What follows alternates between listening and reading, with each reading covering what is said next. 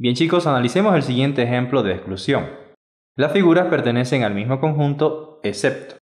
Viendo cada uno de los elementos que nos ofrecen, nos podemos dar cuenta que en cada uno de ellos hay una circunferencia y un elemento externo a la circunferencia.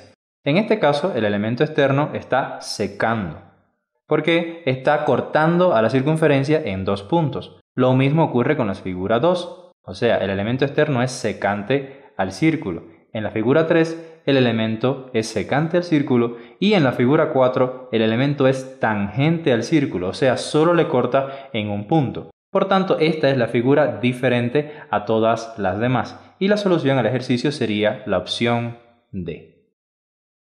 Aprueba el examen ENES de la CENESID fácilmente inscribiéndote ahora en www.alau.es. Y recuerda, suscríbete a nuestro canal y si te gustó el video, dale un me gusta y compártelo con tus amigos.